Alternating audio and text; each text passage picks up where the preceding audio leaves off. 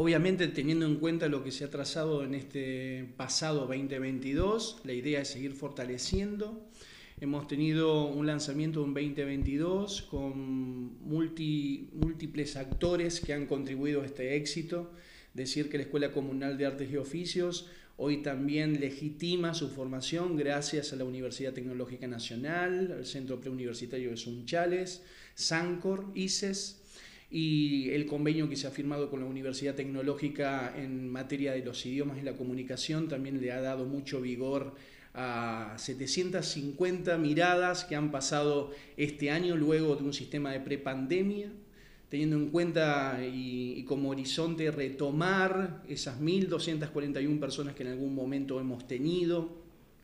El año pasado hemos tenido 44 propuestas educativas, en cuatro ejes muy definidos en comunicación e idiomas, artes visuales y manuales, música y oficios.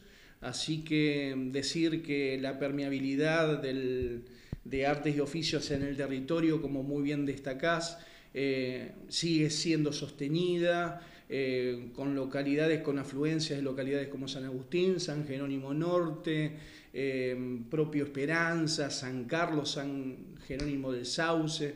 Así que muy entusiastas pensando en seguir fortaleciendo este esquema de trabajo que tanto éxito ha tenido a lo largo de, este, estos años.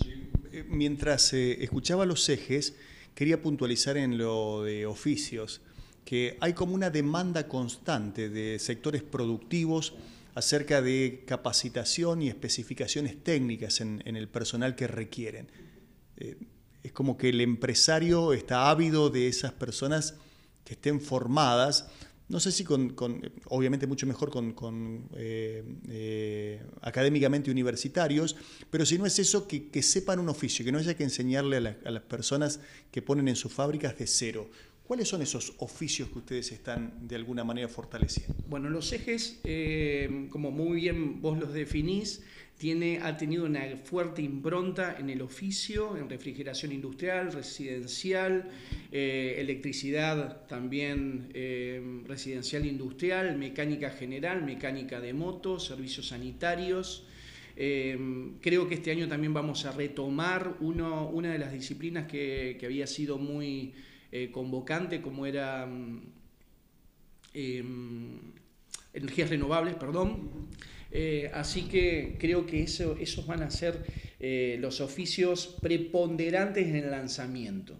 También vamos a destacar que venimos trabajando con la Dirección de Gestión Productiva, en el cual también genera el vínculo con el sector privado, que genera trabajo.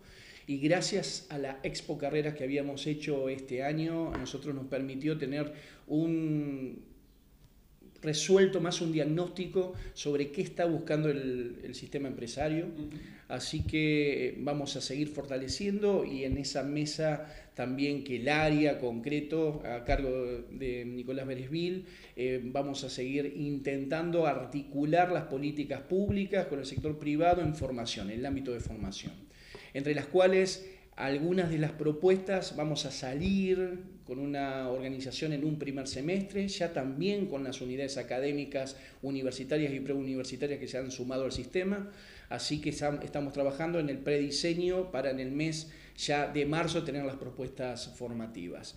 Vamos y comentarle a la gente que todos aquellos que desarrollen alguna actividad profesional o que entiendan que pueden sumarse al equipo, vamos a abrir convocatorias entre el 20 y el 3 de febrero para la presentación de propuestas educativas y luego ya desde el 9 de marzo hasta el 27 vamos a convocar, eh, abrir, perdón, vamos a abrir eh, convocatorias para la grilla de actividades que tenemos previsto. Artes y oficios comienza el 3 de abril, el ciclo lectivo. El ciclo lectivo. Por ende, este tiempo es el que ustedes necesitan para diagramar todo lo que se viene en el año en cuanto a las propuestas académicas, la inscripción pertinente y demás.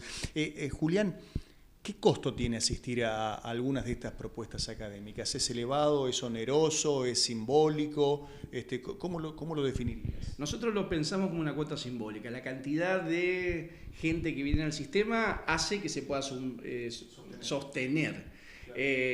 cuando nos sentamos con facilitadores del territorio, siempre mencionan que es muy complejo poder hacerlo. A nosotros eh, no ha funcionado y tener 750 personas ha sido natural eh, y los costos son, son totalmente simbólicos. Estamos hablando de 650 pesos a costos del año pasado 850 eh, pesos y los oficios 1.500 pesos. También con un sistema que nos permite y que le permite a la gente que viene becarlos por cuestiones de desempleo o discapacidad en la familia, algunos de los integrantes. Así que hemos, seguimos pensando que es un ámbito también de contención social para niños, jóvenes, adultos y adultos mayores.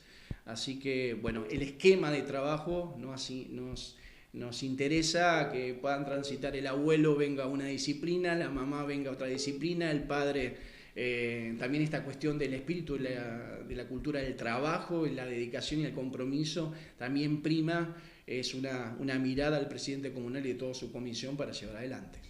Julián, en algún momento se planteó un nuevo espacio para la Escuela de Artes y Oficios, un, nuevo lugar dado el crecimiento sostenido. Eh, ¿Cómo están con este proyecto? Estamos con ese proyecto encontrando los, canales necesarios de financiación. Eh, obviamente estamos planificando eh, espacios comunes de 15 aulas para oficios, 15 aulas para artes musicales, 10 eh, aulas para comunicación de idiomas, estamos hablando de un edificio verdaderamente enorme.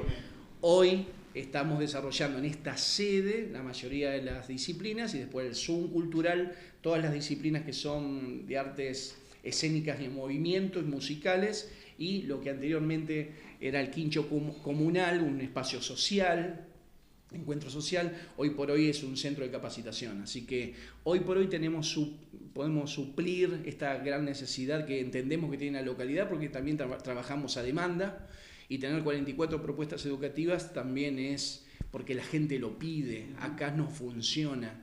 Y quiero destacar una comisión comunal que, que que abre eh, el sistema para que la gente se pueda involucrar y, que nos exige a nosotros que generemos todos estos canales para que esto se pueda cumplir. Claro, es interesante lo que mencionabas al principio de esta entrevista, que ya tienen asociaciones con otras entidades en formaciones educativas que les da un respaldo también a, la capacitación. Si bien la gente viene en busca de conocimientos, a veces eh, eh, el irse con un certificado que tenga otro renombre, otro reconocimiento provincial o regional este, da otro impulso. En anteriores oportunidades hemos trabajado bajo programas ministeriales como el Redes, como ahora el Santa Fe Capacita, pero nosotros entendíamos que eh, hasta el público lo requiere que debíamos dar ese paso más. Y ese paso más venía por el lado de, como decimos entre comillas, la academia.